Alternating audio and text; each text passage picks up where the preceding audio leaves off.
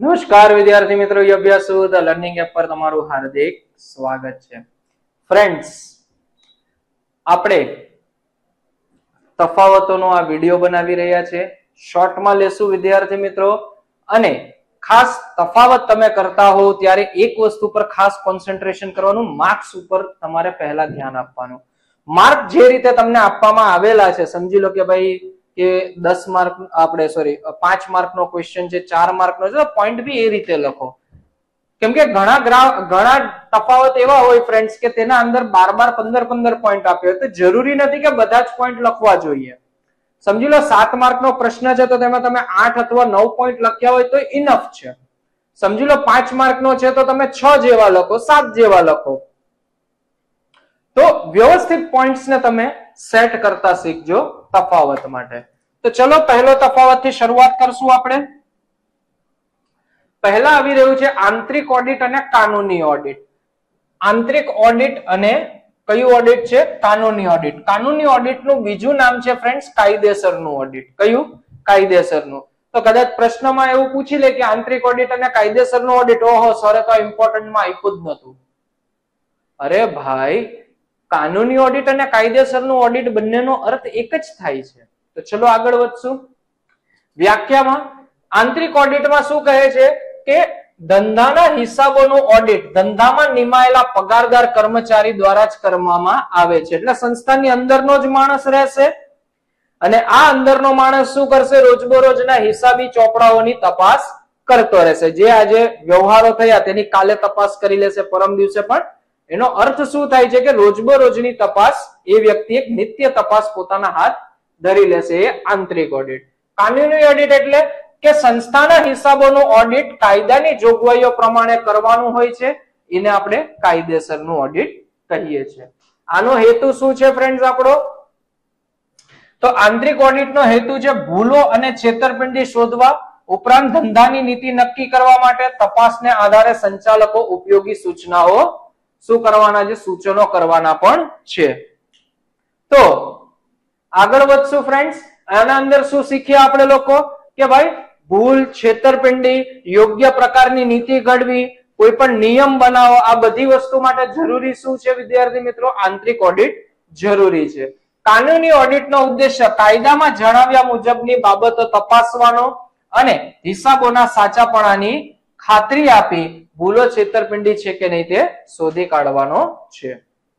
Audit કરનારા વ્યક્તિઓ તો આને આંતરિક ઓડિટર કહેવાશે અને આને કાનૂની ઓડિટર કહેવાશે. આને પછી વ્યવસ્થિત તમે ડિટેલમાં લખી શકો છો. મરજિયાત કે ફરજિયાત? આંતરિક ઓડિટ આપણું ફરજિયાત નથી. જ્યારે કાનૂની ઓડિટ કાયદા મુજબ ફરજિયાત છે. સંચાલકો પોતાની સ્વૈચ્છિક ઈચ્છાથી આ વસ્તુ કરાવી શકે. આના અંદર કાયદામાં લખેલું છે તે પ્રમાણે આપણે ઓડિટ કરવું પડશે પડશે પડશે ને પડશે જ. તેમાં કોઈ વસ્તુ નથી આવતી, આડી.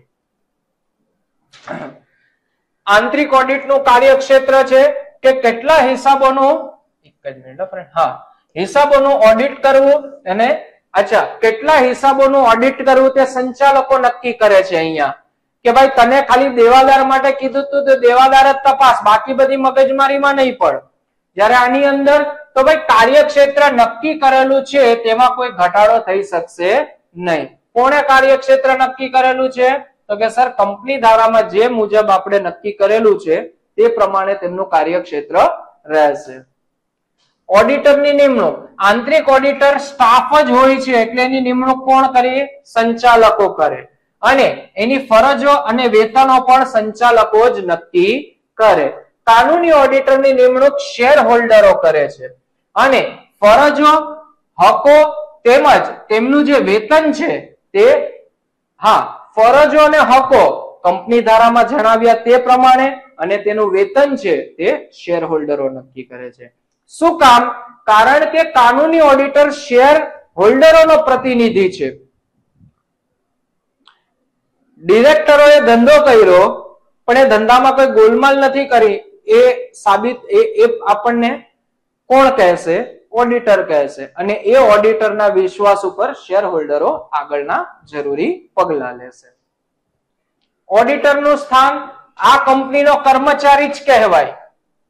આંતરિક ઓડિટર કર્મચારી જ કહેવાય. આ સ્વતંત્ર વ્યક્તિ છે. અને ઓડિટના હેતુ પૂરતી તે શેર હોલ્ડરોનો પ્રતિનિધિ છે. કોણ છે એમનો? પ્રતિનિધિ ગણાય છે. આગળ વધશું. સભામાં હાજરી આપવાનો હક અને કોઈ સભામાં હાજરી આપવાનો હક નથી. કાનૂની ઓડિટરને હાજરી આપવાનો હક છે. કઈ સભામાં?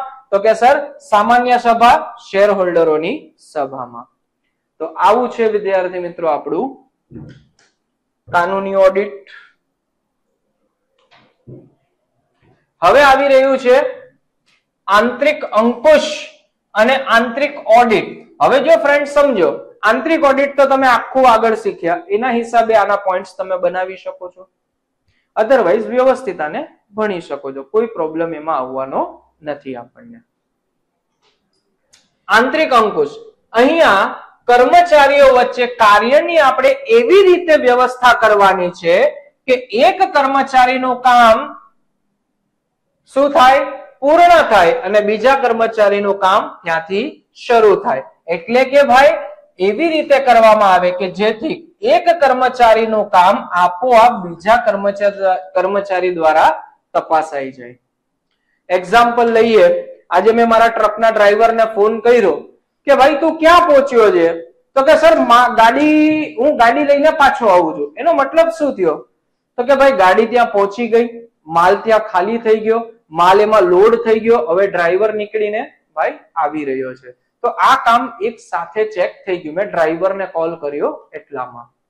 તો કર્મચારીના કાર્યની વ્યવસ્થા આપણે એવી રીતે કરવી જોઈએ. બીજી વસ્તુ કહું, મોટી સંસ્થામાં તમે ક્યારે પણ કોઈ વસ્તુની ખરીદી કરવા માટે જાઓ, તો ત્યાં શું કરવામાં આવે કે બિલ બનાવવા વાળો વ્યક્તિ અલગ, કેશ લેવા વાળો વ્યક્તિ અલગ. તમે બેંકમાં જાઓ, તો શું કરો, એક કાઉન્ટર ઉપર તમે તમારો ચેક આપો, બીજા કાઉન્ટર ઉપરથી તમારા પાસે પૈસા તમને લેવા માટે કહે. તો આ એક વસ્તુ બહુ મહત્વનો અહીંયા આપણી માટે ભાગ રાખે છે ફ્રેન્ડ્સ તો ચલો આગળ વધીએ. આંતરિક ઓડિટ એ પગારદાર કર્મચારીઓ દ્વારા હિસાબોમાં થતું ઓડિટ છે. શું છે, વિદ્યાર્થી મિત્રો આપણે? આ આગળની વ્યાખ્યા પણ તમે અહીંયા લખશો તો પણ ચાલશે. આનો હેતુ શું છે?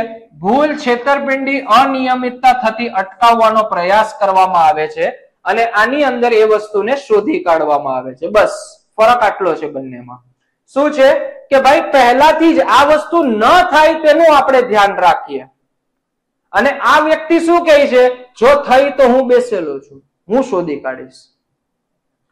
સંચાલકો કહે છે આપણને કે ભાઈ કોઈ ભૂલ, છેતરપિંડી, અનિયમિતતાને અમે ન થાય તેવા પ્રયાસો કરશું. એવી રીતે અમે કાર્યની વ્યવસ્થા ગોઠવશું. અહીંયા ભૂલો હોય, છેતરપિંડી, અનિયમિતતા શોધી કાઢવાનો પ્રયાસ થાય છે ફ્રેન્ડ્સ પોઈન્ટ બહુ સરળ છે.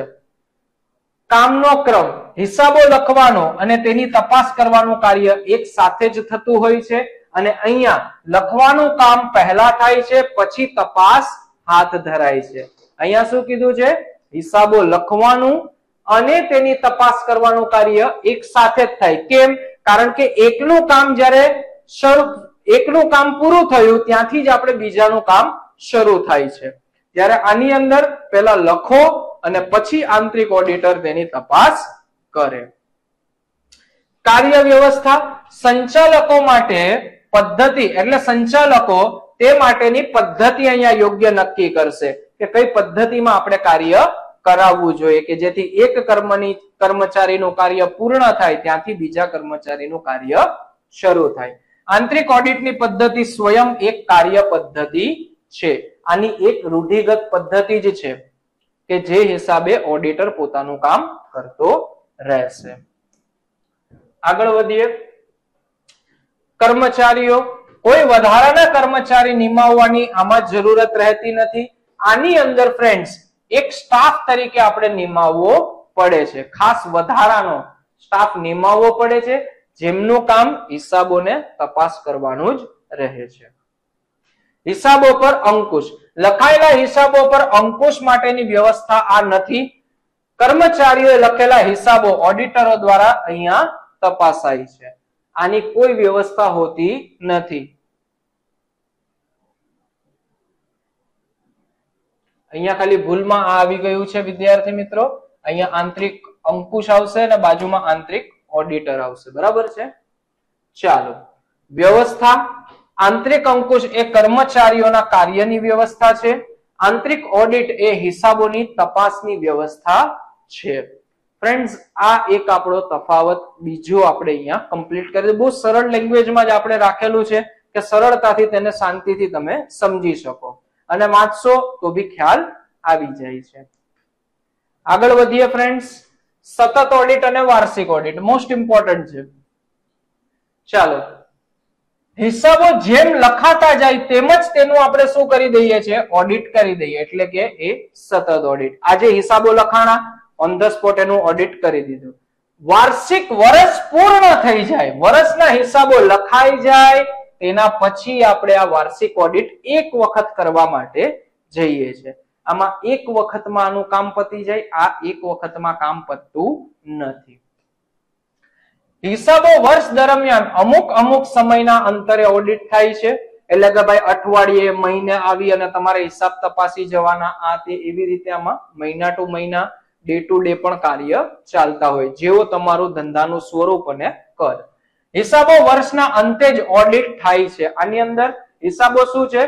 જેમ જેમ પતી જાય, તેમ તેમ કરતા જાઓ. અને પેલામાં આખું પૂરું કરીને આપો પછી અમે કમ્પ્લીટ કરશું. ક્રમ. હિસાબો લખવાનું અને તેની તપાસ કરવાનું કાર્ય એક સાથે થતું હોય છે. આજે લખાણું પણ આજે ને આજે ચેક થઈ જાય. કાલે ને કાલે પણ ચેક થઈ શકે છે.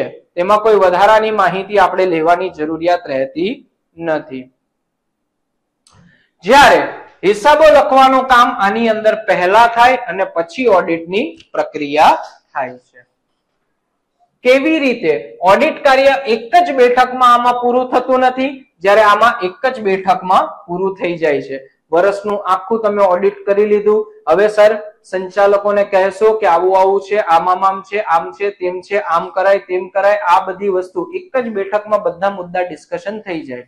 જ્યારે આની અંદર એક બેઠકમાં થાય પણ અને ન પણ થાય. એવી રીતે આધાર એનો રાખે છે ફ્રેન્ડ્સ સમજાણું તમને લોકોને? તો ચલો આગળ વધશું હવે આપણે. વચગાળાનું ડિવિડન્ડ વચગાળાનું ડિવિડન્ડ જાહેર કરવા માટે ચાલુ ઓડિટ એટલે કે આપણું સતત ઓડિટ ને બીજું નામ છે ચાલુ ઓડિટ તો તે ઉપયોગી છે. જ્યારે વચગાળાના ડિવિડન્ડની જાહેરાત વાર્ષિક ઓડિટ માટે ઉપયોગી નથી નીવડતી. ખર્ચાળ. તો ભાઈ, આ પ્રક્રિયા વધુ ખર્ચાળ છે? આ પ્રક્રિયા ઓછી ખર્ચાળ છે. બંને ઓડિટ છે તો સારા.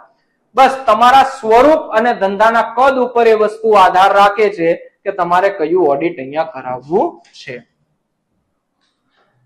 વાર્ષિક હિસાબો. વાર્ષિક હિસાબો ઝડપથી અને સમયસર આપણે શું કરી શકીએ? તૈયાર કરી શકીએ છીએ આને તૈયાર કરવામાં થોડો વિલંબ થઈ જાય છે. કેમ કે વર્ષનું બધું જ ભેગું કરવાનું, તપાસવાનું ને પછી એનો નિર્ણય આપવાનો. એટલા માટે. એક સૂત્રતા. ચાલુ ઓડિટમાં ઓડિટ કાર્યની એક સૂત્રતા રહેતી નથી. જ્યારે આની અંદર આપણી એક સૂત્રતા જળવાઈ રહે છે. એક સૂત્રતા એટલે કે ભાઈ એક સરખું કામ ચાલવું. આની અંદર આજે આ કામ કર્યું, કાલે આ કામ કર્યું, પરમ દિવસે આ કામ કર્યું. ફરી બીજા દિવસે આવશો, આ કામ આ કામ આ કામ, એટલે એકના એક કામ રિપીટ થાય. જ્યારે આની અંદર એકના એક કામ રિપીટ ન થાય, એક સાથે જ બધા કામ પતી જાય. કોના માટે ઉપયોગી? મોટા પાયા માટે આ ઉપયોગી છે? જ્યારે નાના પાયા માટે વાર્ષિક ઓડિટ ઉપયોગી છે. નાના તમારે કદાચ સમજી લો કે ઘરની બાજુવાળા કોઈ નાનો એવો કોઈ શોપ કે શોરૂમ કે લઈને બેઠા હોય કરિયાણા વાળા આ બધા લોકો માટે નાના વેપારી કહેવાય. એ લોકો માટે આ ઓડિટ ચાલે. તો આ છે વાર્ષિક ઓડિટ અને એનો તફાવત. આગળ વધશું ફ્રેન્ડ્સ ચાલો. નિત્ય તપાસ અને પ્રાયોગિક તપાસ. રોજબરોજની તપાસ અને પ્રાયોગિક તપાસ. તો ચાલો, જોઈએ વ્યાખ્યા. બધા વ્યવહારો મૂળ નોંધમાં કરેલી નોંધોથી માંડીને કાચા સરવૈયા સુધીના આંકડાઓની સંપૂર્ણ તપાસને નિત્ય તપાસ કહેવાય. આની અંદર બધી જ તપાસ થઈ ગઈ. ભરતીયું આવ્યું નોંધાણું, આ તે બધા જ વ્યવહારોની ડિટેલમાં ચેકિંગ થાય. એ આપણી નિત્ય તપાસ. પ્રાયોગિક તપાસમાં જ્યારે ઓડિટર ધંધાના થોડા જ કસોટી રૂપ વ્યવહારો પસંદ કરી તપાસ કરે ત્યારે તેને પ્રાયોગિક તપાસ કહે છે. આના અંદર અમુક વ્યવહારો પસંદ કરી લે. ચાલ ભાઈ, વેચાણમાં પાંચ લાખ કરતા ઉપરનું વેચાણ છે તે બધા વાઉચર લઈ લે. દસ લાખ ઉપરનું છે તે બધા વાઉચર લઈ લે. આ કરી લે, તે કરી લે, એવી રીતે આપણે પ્રાયોગિક તપાસ કરીએ છીએ. બધા વ્યવહારોની તપાસ બધા જ વ્યવહારોની આમાં વિગતવાર વિગતવાર તપાસ થાય છે, જ્યારે આમાં ફક્ત થોડા પસંદ કરેલા વ્યવહારોની જ તપાસ થાય છે. કામનું પ્રમાણ. ઓડિટરનું કામ આની અંદર ખૂબ વધી જશે, બધી જ વસ્તુ તપાસવાની. અને ઘણીવાર સમયસર ઓડિટનું કામ પૂરું થઈ શકતું પણ નથી. જ્યારે આની અંદર કામ ખૂબ ઓછું થાય અને વધુ મહત્વના મુદ્દાઓ પર પણ ઓડિટર પોતાનું ધ્યાન આપી શકે છે. કેવી રીતે? ઓડિટર કાર્ય એક જ બેઠકમાં આની અંદર પૂરું નથી થતું. જ્યારે આની અંદર એક બેઠકમાં આપણું ઓડિટનું કાર્ય પૂર્ણ થઈ જાય છે ફ્રેન્ડ્સ તો આગળ વધશું. ભૂલો અચૂક શોધી શકાય. સરળ ભૂલો અને ગોટાળાઓ અચૂક શોધી શકાય છે. સરળ ભૂલો, ગોટાળાઓ પણ હિસાબોમાં રહી જવાની સંભાવના રહેલી છે અથવા સંભવતા છે અંદર. આગળ વધીએ ફ્રેન્ડ જો તફાવત આ જ રીતના છે, કેમ કે આને આપણે વાંચશું તો પણ આપણને સમજ પડી જાય એવા છે, એટલે એમાં કોઈ વધારે ધ્યાન આપવા જેવું કામ વધારે પડતું નથી. કેટલી વાર અનિવાર્ય? જો ધંધાકીય એકમમાં આંતરિક અંકુશની પદ્ધતિ ન હોય, તો આ નિત્ય તપાસ અનિવાર્ય છે. અને જો સારી અંકુશની પદ્ધતિ છે, તો પ્રાયોગિક તપાસ તમારી ઉપયોગી છે. શું કામ? કે ભાઈ, તમે અમુક વાઉચરોને તમે તપાસી લેશો ભરતિયાઓને બધું, તો તમે ઇમ્પોર્ટન્ટ જે મહત્વના મુદ્દાઓ છે ધંધાકીય એકમના, તેના ઉપર સારી રીતે ધ્યાન આપી શકો છો. ઓડિટરની જવાબદારી. જવાબદારી તે પૂરેપૂરી અદા કરી શકે આની અંદર, આમાં જવાબદારી એની ઓછી થતી નથી, કારણ કે છેતરપિંડી રહી ગઈ હોય, તો તેની માટે ઓડિટર જવાબદાર રહે છે. તો આવું છે નિત્ય તપાસ અને પ્રાયોગિક તપાસ. ચલો મિત્રો, બહુ નથી વધ્યા હવે આપણા, બે જ તફાવતો વધ્યા છે. એટલે ટોટલ છ માંથી આપણે ચાર તફાવતો પૂર્ણ કરી દીધા છે. તો હવે આપણે શું કરવાનું છે? આગળ વધવાનું છે ભાઈ. બીજું શું કરવાનું હોય સર બરાબર ને ભાઈ? તો ચાલો સ્ટાર્ટ કરી દઈએ આપણે આગળનો પ્રશ્ન. તો આવી રહ્યું છે હવે આગળ આપણી સામે ઓડિટ કાર્યક્રમ અને ઓડિટ નોંધ પોથી ઓડિટરે અમુક કામ કરવાની ઘડેલી યોજના. ઓડિટરે અમુક કામ કરવા માટેની જે કોઈ પણ અથવા તો ઓડિટ કામ કરવા માટેની ઘડેલી યોજના, એટલે ઓડિટ કાર્યક્રમ. ને ઓડિટ નોંધ પોથી એટલે ઓડિટ દરમિયાન જે અગત્યના મુદ્દા માટે ઓડિટરે અગત્યના મુદ્દાઓ નોંધવા માટે જે બુક વાપરે છે તે ઓડિટ નોટબુક કહેવાય છે અથવા નોંધપોથી કહેવાય છે. ઉદ્દેશ્ય શું છે? ઓડિટર અને તેના મદદનીશો વચ્ચે કાર્યની વહેંચણી કરવાનો, ઓડિટનું કાર્ય સરળ બનાવવાનો અને તેને કાર્યક્ષમ બનાવવાનો છે. ઓડિટર અને મદદનીશો વચ્ચે શું થાય? કાર્યની વહેંચણી. કાર્ય તમારું જે છે તે સરળ અને કાર્યક્ષમ બને. આ બસ આટલું આવી ગયું તમારું, એટલે ઉદ્દેશ્ય એનો પૂરો થઈ ગયો. જ્યારે આનો ઉદ્દેશ્ય શું છે? ઓડિટર અમુક મુદ્દા મહત્વની બાબતો ભૂલી ન જાય તે નોંધવાનો. કેમ કે ઓડિટર માની લો ફ્રેન્ડ્સ હું ઓડિટર છું, મારી પાસે દસ જણાનો સ્ટાફ છે. તો આજે મને કીધું, સર, આ જગ્યાનું ઓડિટ પૂરું થઈ ગયું છે, તો તમે એવું હોય તો એક દિવસ આવો, આપણે નિર્ણય લઈ લઈએ કઈ કઈ સંચાલકો સાથે માહિતી ડિસ્કસ કરવી છે. તો એ બધી જ ક્વેરી શું કરવામાં આવે? હું એક લખી લઉં કે સંચાલકો સાથે તેનું ડિસ્કશન થઈ જાય. ચાલો. હવે એવી જ રીતે બીજી ટીમનો બપોરે ફોન આવ્યો. સર અમારું ઓડિટ પતી ગયું છે. તમે એવું ફ્રી હોવ તો આવી જાઓ. તો અમે તમને બધી ક્વેરી કહી દઈએ. ચાલો, એ પણ પહોંચી ગયો. હવે વિચારતા શીખો જરા. એક વસ્તુ કોન્સન્ટ્રેટ કરતા શીખો કે ઓડિટરે જો નોંધ પોથી બનાવેલી ન હોય અને ઓડિટર દસ જગ્યા ઉપર જતો હોય, એના મદદનીશો દસ જગ્યા ઉપર ઓડિટ કરવા એક સમયે જતા હોય તો વિદ્યાર્થી મિત્રો, એ લોકો બધી જ સંસ્થાને બધી જ વસ્તુ યાદ કઈ રીતે રાખી શકે? તો મહત્વના મુદ્દા એ નોંધ પોથીના અંદર એ વ્યક્તિ લખશે. ખ્યાલ. કારકુનને પોતાના કામકાજનો સંપૂર્ણ ખ્યાલ તેમજ પોતાને શું કામ કરવાનું છે તેનો ખ્યાલ રહે. એનું કામ શું છે અને આજે એને શું કામ કરવાનું છે તે બંને વચ્ચે વ્યક્તિ સરળતાથી તફાવત કાઢી શકે. ઓડિટરની યોગ્યતા, હોશિયારી અને કાર્યક્ષમતાનો આના ઉપરથી ખ્યાલ આવે. કેમ કે જેણે મુદ્દા લખેલા હશે, તે મુદ્દા કઈ જેવા તેવા તો હશે નહીં.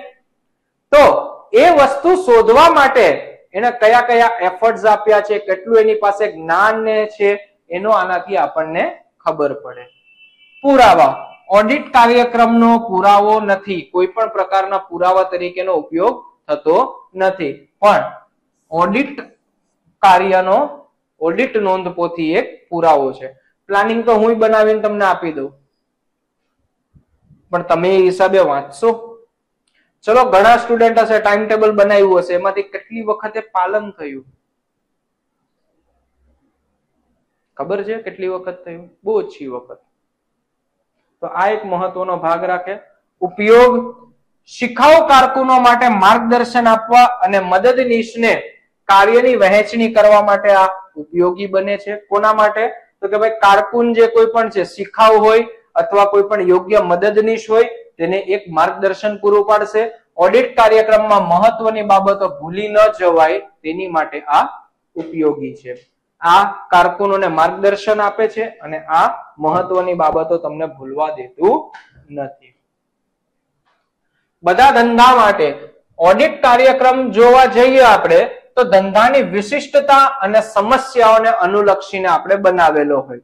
તો જરૂરી નથી કે બધા ધંધામાં એનો એ જ ઓડિટ કાર્યક્રમ તમે ઉપયોગમાં લઈ શકો.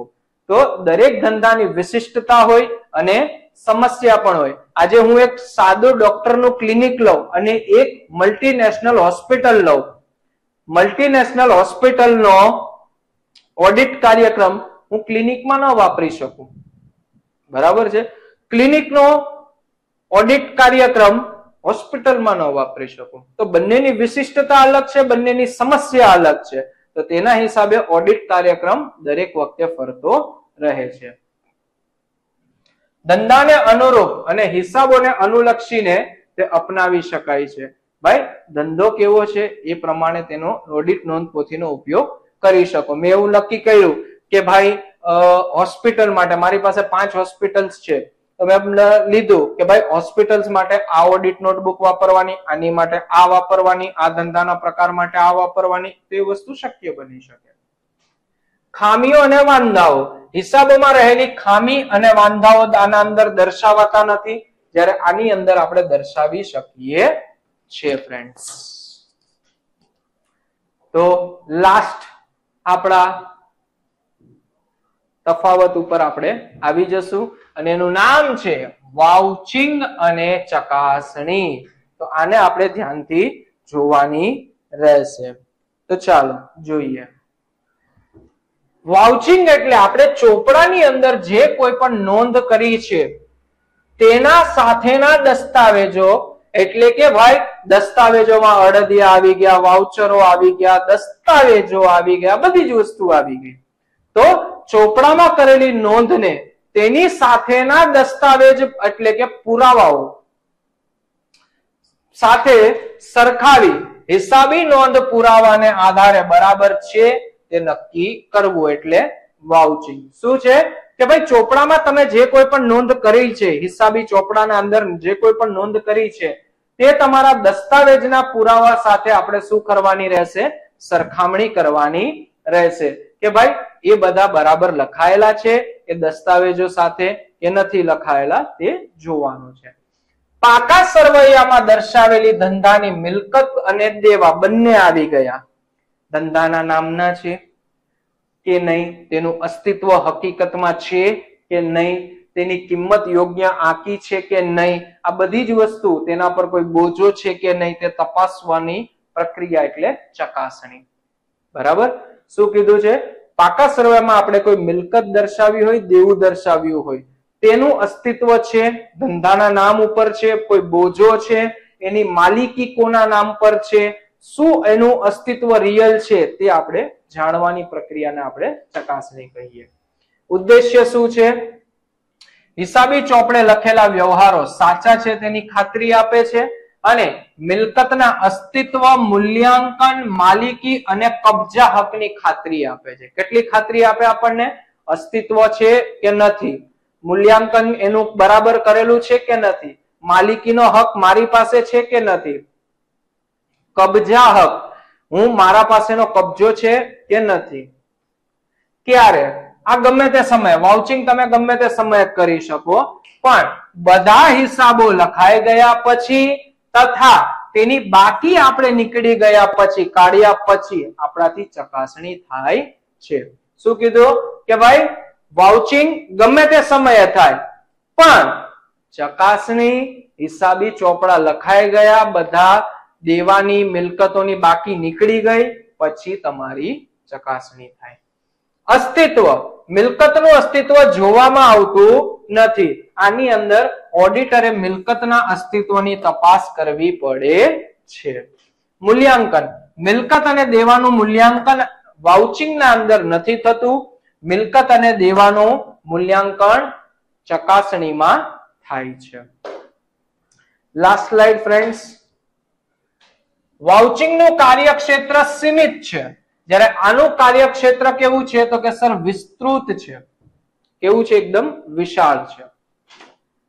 મિલકતના જીવનકાળ દરમિયાન ફક્ત એક જ વખત વાઉચિંગ ભાઈ બરાબર એન્ટ્રી કરી છે કે નથી કરી? મૂડી ખર્ચા બરાબર લખાયેલા છે કે નથી લખાયેલા? આ બધી વસ્તુની ચકાસણી એક જ વખત થાય. પણ આના અંદર ફ્રેન્ડ્સ ચકાસણીમાં પાકા સર્વેમાં દર્શાવેલી મિલકતો અને દેવા બંનેની ચકાસણી દર વર્ષે કરવામાં આવે છે, શું કરવામાં આવે છે? તો કે સર પાકા સર્વેમાં દર્શાવેલી મિલકતોની ચકાસણી દર વર્ષે કરવામાં આવે છે ફ્રેન્ડ્સ તો આની સાથે આપણા બધા જ તફાવતો અહીંયા કમ્પ્લીટ થઈ ગયા છે ફ્રેન્ડ્સ તો ફરી મળશું આપણે નવા વિડીયોમાં નવા પોઈન્ટ ઓફ વ્યૂ સાથે ફ્રેન્ડ્સ તમારો ખૂબ ખૂબ આભાર.